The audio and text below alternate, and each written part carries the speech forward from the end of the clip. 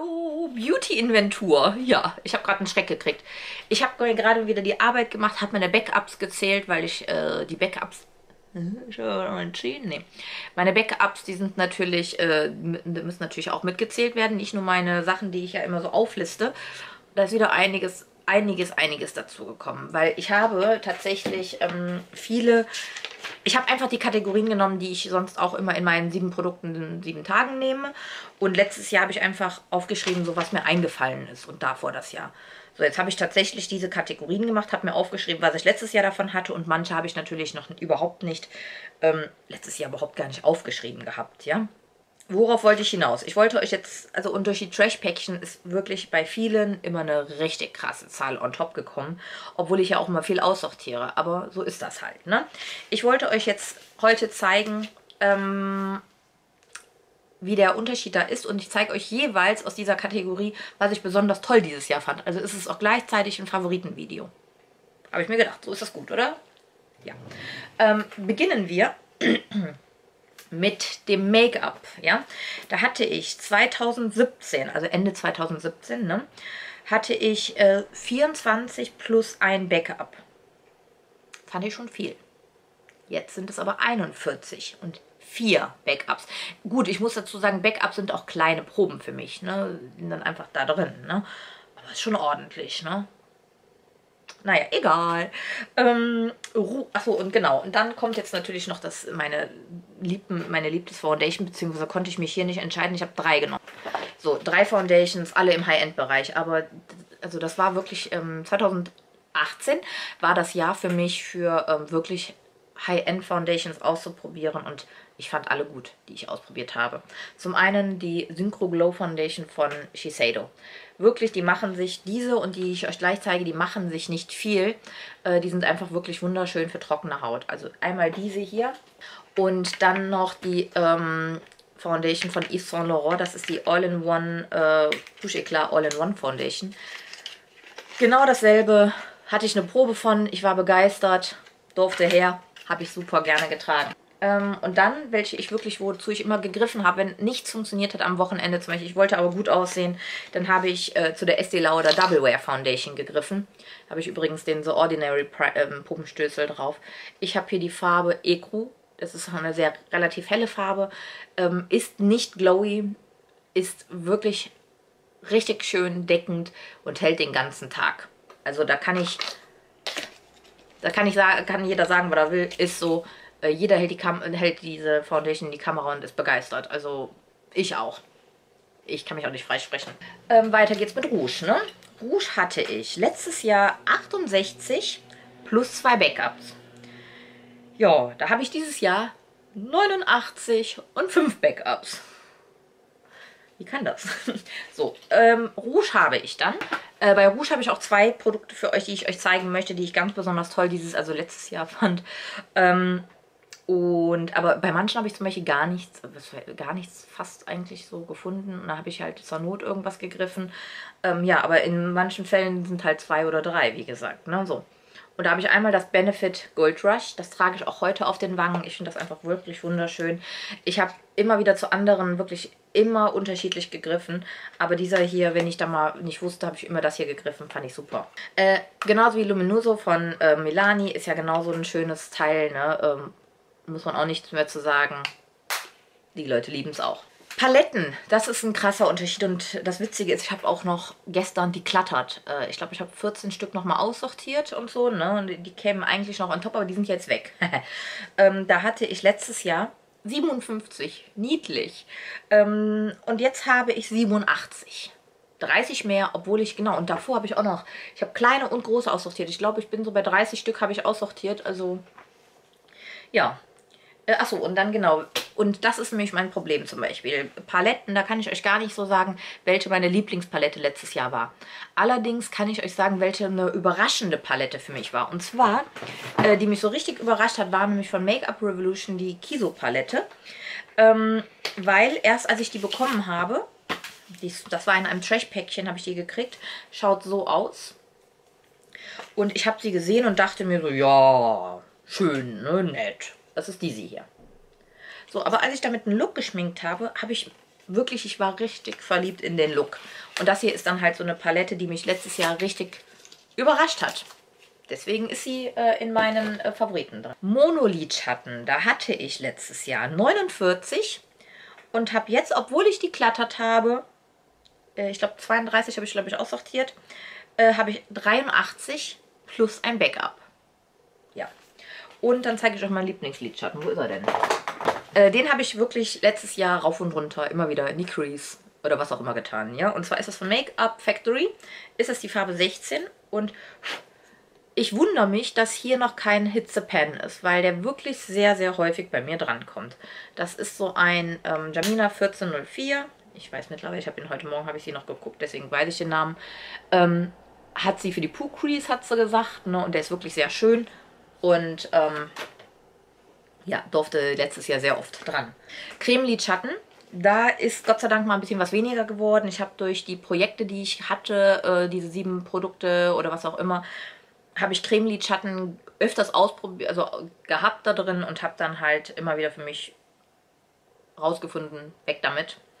Äh, ich habe aber trotzdem noch 23. Äh, nein, hatte ich letztes Jahr, Entschuldigung. Ich hatte letztes Jahr 23 und habe trotzdem noch 18. Ich weiß nicht, wo die sind, aber 18 Stück angeblich. Okay, äh, da habe ich ähm, dann auch was für euch. Cremelidschatten, wo haben wir ihn denn? Ja, da ist nämlich zum Beispiel so ein Fall, weil, wie gesagt, ich bin nicht so der Cremelidschatten-Fan. Da habe ich jetzt einfach einen rausgesucht, den ich wirklich sehr schön fand letztes Jahr. Und zwar ist das von MAC Laying Low. Low. Ähm, ja, das ist dieser hier. Der muss das schon am Rand so ein bisschen, hat er sich verabschiedet. Allerdings, ähm, der ist auch super weich. Das ist diese Farbe hier. Auch richtig schön, finde ich. Ja, mag ich. Weiter geht's im Text. Da haben wir dann jetzt äh, Lidschattenstifte. Ja, da ist ein bisschen was dazu gekommen. Wegen Trash und so. Ne? Da hatte ich letztes Jahr 32 Stück plus 4 Backups und habe jetzt 42 und 5 Backups. Ja, hm. und ähm, ich habe nämlich das hier in so einer Colourpop-Karton drin, die ganzen Sachen. Ähm, da habe ich dann hier meine Lieblingsfarbe davon.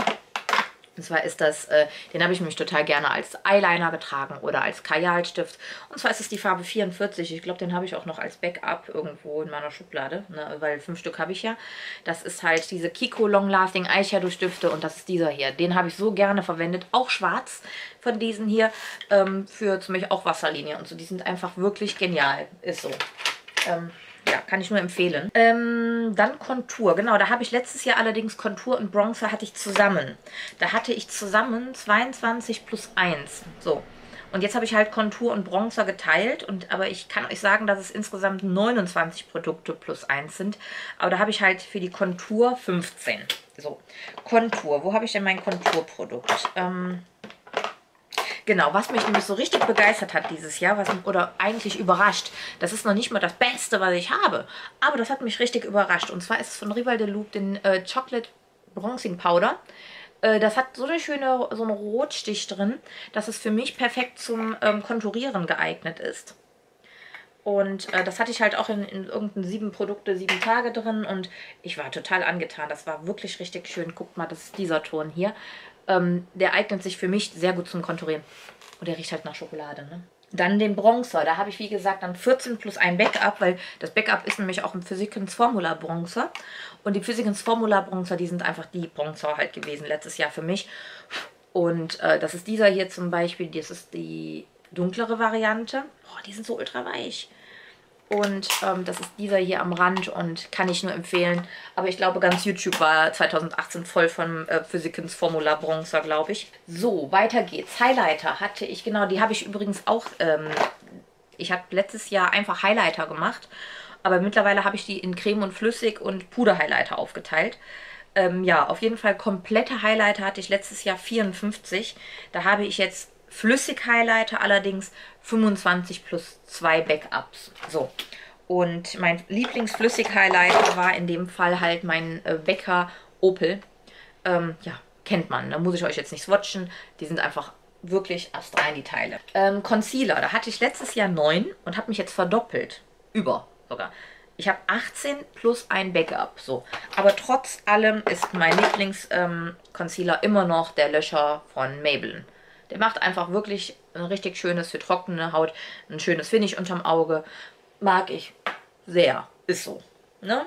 Also wer alle meine Videos und uns immer guckt, weiß das warum und weshalb. Ähm, Mascara hatte ich letztes Jahr 13 Stück. Da habe ich jetzt 20 plus 4 Backups. Ja, schön, ne? Ähm, so, und da habe ich, das meine zwei überraschendsten waren dieses Jahr die Superhero äh, Mascara ähm, von It Cosmetics. Richtig coole Mascara. Und welche ich auch wirklich richtig gut fand, war von Benefit die Bad, äh, wie heißt die? Bad Girl Bang Mascara. Was ist das hier nochmal? Ich habe nämlich jetzt auch ähm, von der lieben äh, Dalinka, habe ich jetzt hier so eine Probe zugeschickt. Das war es mal andere. Wirklich sehr coole Mascaren. Allerdings denke ich, gehen die bald leer und dann habe ich schon wieder weniger. Ne? Weil im Moment versuche ich halt sehr viele Mascaren aufzubrauchen, weil ich so viele habe. Aber viele sind auch schon fast, äh, ne, kann, können abdanken. So, Brow. Na, also für die Augenbrauen war auch ordentlich. Ne? Letztes Jahr hatte ich 13 Stück plus 7 Backups. Da fand ich schon viel mit 7 Backups. Äh, jetzt mittlerweile habe ich aber 27 Produkte, also Augenbrauenprodukte, plus 11 Backups. Ja. Und mein Lieblingsaugenbrauenprodukt dieses Jahr, ne, obwohl ich auch wirklich andere ganz, ganz tolle Sachen ausprobiert habe, aber die häufigste Sache war nun mal die Anastasia Dip Brow Pomade, ist nun mal so. Ähm, allerdings bin ich echt froh, wenn die bald leer ist. Nicht, weil die nicht schlecht, äh, weil die weil die schlecht ist, sondern einfach, ich bin satt. Ne, so einen halbleeren oder fast leeren Tiegel mit äh, hier rumzuschleppen. Schleppen, steht ja hier nur rum. Aber ihr wisst, was ich meine. Ne? Man ist einfach wenn sowas, wenn, wenn die so leer ist, schaut mal, wenn die wirklich so leer ist, hat man da keinen Bock mehr rumzunudeln. Ist so. Ja, aber ist bald auch leer, denke ich. Ist auch in meinem ähm, neuen Project Pan drin. Ja, aber das war halt so mein Produkt, was ich dieses Jahr am häufigsten verwendet habe. Ähm, Eyeliner, da hatte ich letztes Jahr 10 und da bin ich krass überrascht, weil ähm, durch die ganzen Trash-Päckchen, da kamen wirklich immer viele Eyeliner mit, habe ich aber trotzdem nur 14. Also ich habe wirklich gedacht, ich hätte locker das Doppelte. Ähm, ja, auf jeden Fall, aber zwei Backups auch noch on top. So, meine zwei ähm, liebsten ähm, Eyeliner, das sage ich euch ständig, das sind die High Precision Liquid Liner von Art Deco. Wer kein Lidstrich ziehen kann, wird es damit lernen. Ich gebe euch Brief und Siegel. Ich habe hier die Nummer 1 und die Nummer 3, schwarz und braun. Und es gibt die 2, die ist, glaube ich, noch ein, ähm, so ein Anthrazitfarbenen. Ja, kann ich euch nur empfehlen als Eyeliner. Ja, ähm, ähm, ähm, Pigmente waren es letztes Jahr 22 und dieses Jahr sind es 34. Mein Lieblingspigment ist wie immer mein MAC Blue Brown. Ich kann euch das mal swatchen. Das ist, wenn ihr das seht, dann wisst ihr ganz genau, warum ich das so schön finde. Allerdings muss ich auch dazu sagen, gibt es mittlerweile in vielen Paletten Töne, die ähnlich sind. Ne? Aber ganz am Anfang war das natürlich die Farbe, ne, die MAC da rausgebracht hat. Ne? Ja, richtig toll. Und irgendwie denke ich, glaube ich auch, es geht trotzdem nichts über das Original. Habe ich manchmal so im Gefühl, wenn er versteht. Ne? Das ist halt einfach dann auch so. Äh, Kajalstifte. Ähm, da hatte ich letztes Jahr 25 plus zwei Backups. Die Backups habe ich gerade aussortiert. Die sind noch komplett neu. Die werde ich mal verlosen. Ähm, weil ich benutze kaum Kajalstifte. Aber habe trotzdem äh, mal eben 39. Ich habe Anstatt 25 plus 2 habe ich 39 dieses Jahr. Das ist schon ordentlich. Und ich habe habe ich überhaupt einen Kajal hier reingetan? Nö, weil ich... Genau, das wollte ich sagen. Weil ich habe halt... Huapala, meine Fresse. Bleibt hier. Bleibt hier. Ähm, ich habe halt einfach letztes Jahr einen aufgebraucht von ähm, Art D... Nee, Quatsch, von... Ähm, mit A. Avon habe ich aufgebraucht und der war halt derjenige, der am meisten benutzt worden ist. Jetzt einfach irgendeinen in die Kamera zu halten, fände ich auch voll uncool, aber den habe ich halt immer verwendet. So, Lip Pencils. Da hatte ich letztes Jahr 17 Stück plus zwei Backups und da habe ich dieses Jahr 34. Null Backups. So. Äh, reicht ja auch, ne? Und da habe ich äh, Femme Fatale von Essence ähm, stellvertretend dafür. Ein richtig tolles Rot. Das, wenn ich überhaupt Lip Liner, da habe ich gerne dazu äh, gegriffen, ist immer wieder die Essence Lip Liner, finde ich persönlich wirklich gut. Ähm, für den Preis mega, ne? Ja, das war's. Hm. Ähm, Gloss, also Lip Gloss. Ja, da hatte ich letztes Jahr 23. Das ist, ich glaube, das einzige, wo ich mich äh, verbessert habe. Da habe ich mittlerweile 14. Ja, und denjenigen, den ich am liebsten verwendet habe, das ist der von NYX, äh, der Smoky Look. Der ist auch, glaube ich, schon vier Jahre alt. Aber vom Geruch her und so, ähm, scheint ja noch echt okay zu sein. So, und das ist wirklich so ein richtig schöner, ähm, ja, sowas mag ich an Glossen. Sowas. Sowas. Ne? Ja. Fände ich gut. Aber ich glaube, die sind auch sehr ja, ich glaube, die ähm, Lipglosse von NYX sind auch, glaube ich, sehr beliebt. Liquid Lipstick, da hatte ich letztes Jahr 35 Stück plus ein Backup. Da habe ich jetzt zwei Backups, habe ich also verdoppelt. Und 49 Stück so. Ja. Und da habe ich zwei Stück für euch, die ich euch zeigen möchte. Und zwar einmal zum ersten wirklich äh, für ein angenehmes Tragegefühl habe ich die 24 Stunden Superstay Colors hier. Da habe ich ganz schön viele mittlerweile von. Das hier ist stellvertretend die Farbe 560. Ist auch so ein Rot, wie ich gerade auf den Lippen trage. Das ist ja so mein Rot, ne? Sowas trage ich gerne auf Partys, wenn dann wirklich mal auch zum Beispiel Silvester, beim, ne, so, ja, hatte ich jetzt nicht drauf. Nee, hatte ich nicht drauf. Aber zum Beispiel, ja. Silvester und am ähm, um 24 Uhr bzw. 0 Uhr wird rum hier geputzt. Ja, rumgebutzt. Hier, da ein Kuss, da ein Kuss. Und wenn man rote Lippen trotzdem drauf haben möchte, dann muss man sowas hier tragen. Weil da hat wirklich, da färbt nichts ab und Komfort ist auch gut. Also ich mag den, bleibt wirklich den ganzen Tag. Wenn ich mich nicht abschminke, habe ich den sogar noch drei Tage später drauf. Hm, übertrieben gesagt, ne? Aber sonst so Liquid Lipstick mag ich auch total gerne. Ariba von Colourpop, den habe ich letztens nochmal in einem Video draufgetan. Das ist wirklich das Rot. Das Rot, Leute. Ne? Und ja, Colourpop kriegt man ja nicht in Deutschland, aber mit, die liefern ja nach Deutschland. Klar, ist natürlich mit dem Zoll immer so eine Sache. Ich traue mich, no risk, no fun. Ne? So, dann haben wir ähm, Fixiersprays. Da habe ich mich ordentlich, da habe ich mich mehr als verdoppelt, Leute. Ja? Also da hatte ich nämlich letztes Jahr nur zwölf, voll süß, zwölf plus vier Backups. Und jetzt habe ich mittlerweile sieben Backups, ja, und 29 Sprays. Da habe ich zum einen, also meine, meine zwei Liebsten habe ich euch dann halt mal rausgesucht. Und zwar einmal ist das das Glow Setter von, also Glow, Glam Glow von Glam Glow, das Glow Setter. Das wirklich, das ist der perfekteste Sprühnebel in Perfektion dieser Welt. Ja, und äh, Geruch her ist wirklich sehr zuckrig, finde ich. Gibt den ultimativen Glow fürs Gesicht, finde ich super.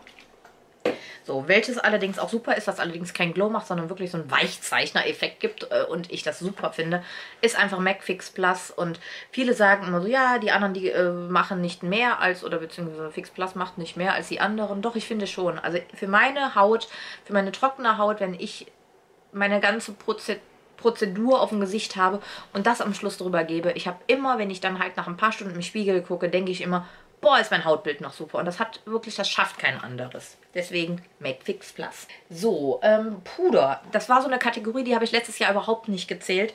Gar nicht. Ich hatte zwar Puder, natürlich hatte ich Puder, aber ich habe die nicht gezählt. Keine Ahnung warum. So, und da habe ich jetzt mal direkt 23 Stück plus vier Backups. Ja, und da habe ich ähm, natürlich das Hourglass. Stellvertretend meine ganzen Hourglass-Puder mittlerweile. Ich liebe sie einfach. Ähm, diese Hourglass-Produkte machen einfach den schönsten Turn bei trockener Haut, wenn man nicht toten matt aussehen möchte. Ich persönlich mag es überhaupt nicht matt. Mögen vielleicht wirklich sehr viele. Habe ich auch letztens noch einen Kommentar unter meinem Video gehabt, dass jemand mich gerne, äh, dass sie findet, dass ich zu, ähm, dass ich mich abmattieren sollte. Ich mag es gar nicht, wirklich Leute, überhaupt nicht. Also egal wie viele Leute mir sagen, es sähe besser aus, ist mir scheißegal, ich will es nicht, ich möchte einfach nicht matt sein. Weil so vor der Kamera geht das vielleicht noch, aber wenn er mich in der Natur sieht und mein ganzes Kinn ist einfach nur ein, so eine Mondlandschaft, weil überall so die Bröppel sind, weil, weil ich mich abgepudert habe. Never. Hier oben in den Falten, ja, sammelt sich das ganze, die ganzen Puderprodukte rein. Also nein, jeder wie er will, wenn ich jetzt glänzen würde wie eine Speckschwachte, tue ich vielleicht ein bisschen heute. Aber ähm, ich habe mich abgepudert. Aber so, ähm, das ist einfach jeder so wie er will, oder? Yeah. Ähm, so, auf jeden Fall richtig geiles Puder ist so. Ich liebe es einfach. Ähm, gibt nichts Besseres. Gibt nichts Besseres für trockene Haut. So. Jetzt können wir umdrehen, das Blättchen. So, da haben wir noch ein paar Kategorien. Ich glaube fünf. 1, 2, 3, 4, 5, 6, 1, 2, 4, 6. Gesichtspaletten. Hatte ich letztes Jahr auch keine Kategorie gemacht. Welche Gesichtspalette mich echt überzeugt hat dieses Jahr, ist die von Freedom. Was kostet die? 2, 3 Euro ist der Hammer. Und zwar ist das wirklich, äh, ist so ein Gesichtspalettchen mit drei verschiedenen Farben drin und das kann man auch wirklich sehr schön zum Abpudern nehmen. Ähm, hat, also, es hat eine richtig tolle Wirkung, mochte ich sehr dieses Jahr. Primer Äh, achso, übrigens, Gesichtspaletten, hab, wie gesagt, hatte ich keine und jetzt habe ich 15. Habe ich eben irgendwas noch anderes vergessen? Puder? Nee, hatte ich gesagt. Mm, Primer. Da hatte ich auch letztes Jahr keine Kategorie für gemacht. Ich weiß nicht warum, aber jetzt habe ich äh, 33 Stück plus 5 Backups. Und mein Lieblingsprimer ist immer noch ähm, der Estee Lauder Idealist. Der macht einfach wirklich, verfeinert euch die Poren, ist super leicht, lässt einen kleinen, leichten Glow äh, hinterlässt er, wirklich Feuchtigkeit versorgt den ganzen Tag über. Mega teuer. Einziger Nachteil, ne? Ja, okay, das ist es aber. Dann habe ich ähm, Highlighter Puder. Ne? Habe ich ja eben schon gesagt, 54 Stück hatte ich komplett, ne, mit auch flüssigen. Aber da habe ich jetzt alleine 55 nur Puder Highlighter. So, und da habe ich äh, zwei, upsie, ich tue jetzt den Karton mal weg. Da habe ich tatsächlich äh, zwei Becker Highlighter. Ist so. Einmal Girl Glow Berlin, trage ich auch heute. Und einmal Becker Opel. Das sind die besten Highlighter für mich. Ähm, ja, freue ich mich, dass ich die auch noch immer habe. Ähm, dann haben wir ähm, Parfüms. Letztes Jahr 28 Stück gehabt plus, haltet euch fest, 12 Backups. Äh, da habe ich dieses Jahr, haltet euch fest, aber auch viele durch diese Piolen ne, von äh, Unique, die zähle ich halt auch als kompletter Duft. Ne? Ist dann halt ja auch so. Ähm, also Parfümproben, das natürlich nicht. Äh, da habe ich mittlerweile anstatt 28 habe ich 44 und 14 Backups. Naja. Und da habe ich zwei Parfums, also meine zwei Lieblingsparfums für euch. Ähm, also zwei. Also ich habe wirklich viele, viele mehr, die Lieblingsparfums sind. Ne? Aber ich habe jetzt mich für zwei entschieden. Ähm, zum Beispiel das Jimmy Choo, ich liebe das halt immer noch. Ne? Aber zwei Stück wollte ich euch zeigen. Da habe ich einmal Dior Addict habe ich auch dieses Jahr leer gemacht und auch äh, die Tage nochmal leer gemacht als türkische Variante. Schwer, sexy, verführerisch. Oh, ich liebe es einfach. Ist so. Und dann habe ich hier meinen Lieblings-Sommerduft noch. Äh, das ist das Chloe Love. Das ist... Mein Freund, der sagt immer, du riechst total nach Sommer, wenn du das drauf hast. Und das ist wirklich so. Ich finde es auch super. Ja, ähm, Body Spray ja, da habe ich letztes Jahr 19 gehabt, habe dieses Jahr nur noch 13. Ich habe ein paar aussortiert, ich habe ein paar aufgebraucht, bin glücklich darüber und welche ich besonders gerne mag, sind zum Beispiel die von Bath Body Works, habe ich jetzt hinten. Ähm, aber wenn es ein bisschen pflegender sein soll, nehme ich total gerne diese Ölsprays von äh, ähm, Avon Skin so Soft. Da habe ich noch zwei Stück. Das hier ist dieses mit Lavendel. Hatte ich letztens auch im, ähm, wie nennt man das, äh, sieben Produkte in sieben Tagen. Ähm, ich mag sowas einfach. Zack, zack, zack. Einfach draufsprühen und schon seid ihr gepflegt. Mag ich. So, die letzte ähm, Kategorie ist Lippenstifte. Da hatte ich letztes Jahr 118 plus zwei Backups. Ja, viel verbessert habe ich mich da auch nicht. Äh, ich habe jetzt mittlerweile 106 und sieben Backups. Ja. Ähm, mein Lieblingslippenstift, also die Lieblingslippensstifte sind zum Beispiel, meine Lieblingslippensstifte sind zum einen Colourpop Lippy Sticks, die halten wirklich richtig schön lange, fühlen sich toll an auf den Lippen. Stellvertretend habe ich jetzt zum Beispiel Trust Me, das sind so, ähm, ja, die dreht man raus, dann hat man hier so eine richtig tolle Form zum Auftragen. Mag ich sehr gerne, die halten wirklich, ich sag mal, sechs Stunden locker mit Essen und Trinken. Und das sollte auch ein Lippenstift für mich tun. Alle anderen, wahrscheinlich fallen, demnächst habe ich wahrscheinlich nur noch 50 Lippenstifte, nur vor allen Dingen, ähm, weil alles raussortiert worden ist. War nur noch das, was so lange hält, ist für mich dann gut. Genauso wie die Astol, wie heißen die? Perfect Stay Fabulous Reihe. Auch mega geil. Trage ich heute das Rot. Ähm, ist nämlich genau dasselbe. Ist matt, hält lange. Mehr will ich gar nicht. Ähm, ja, habe ich euch gerade gesagt, wie viele das waren. Na ja. Ja, und das war meine Beauty-Inventur. Läuft, würde ich sagen. Ich habe mich definitiv ähm, verdoppelt. Äh, nein, nicht verdoppelt. Ja, doch, in manchen Sachen fast, auf jeden Fall. Naja, okay, äh, lassen, lassen wir das äh, schnell weg damit. ähm, ich hoffe, das Video hat euch gefallen. Es war nicht ganz so langweilig, weil ich finde so Zahlen immer so ein bisschen äh, öde. Aber ich dachte, wenn ich euch von jeder Kategorie meinen Liebling zeige, läuft das, ne? Und wird wahrscheinlich ein bisschen später rauskommen jetzt, aber das macht ja nichts. Ne? Ihr seid jetzt sowieso total, habt auch vollen Input mit Jahresfavoriten-Videos. Habe ich mich selber schon geguckt. Nicht selber geguckt, aber gesehen beim Scrollen. Äh, ja. Okay, mein Lieben. Äh, bis dann. Ciao.